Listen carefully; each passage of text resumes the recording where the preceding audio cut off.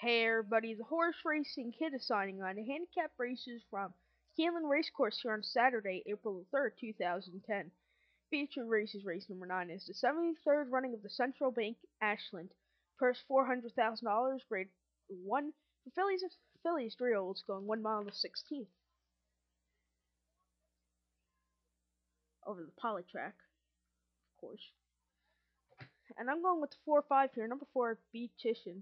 Last uh, Kenneth McPeek trains. Last time out, in the Honeybee.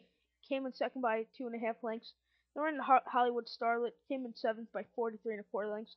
Second, the Breeders' Cup uh, juven uh, for juvenile fillies uh, against the horse She Be Wild, who I have in this in my exacta here. Then came in in, in the Alcibiades, came in fifth. Second in Spinaway. Second in the Schuylerville. And one uh, main special weight five and a half back last June at Churchill.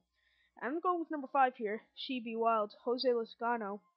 Last time out, the run uh, at Gulfstream in the forward gal came in fifth. The run in the Breeders' Cup Juvenile won by three quarters of a length, and the, and the Alcibiades came in second. First in the Arlington and the Arlington Lassie.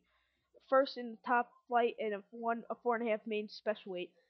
Going with this one to recap my bets race number nine from Keeneland Racecourse. I'm going with the four fives. So it's the Horse Racing Kid sign off for number signing off for number. Good luck. Go to horseracingkid.com for more picks and selections from Keeneland, Woodbine, all those good tracks. Good luck.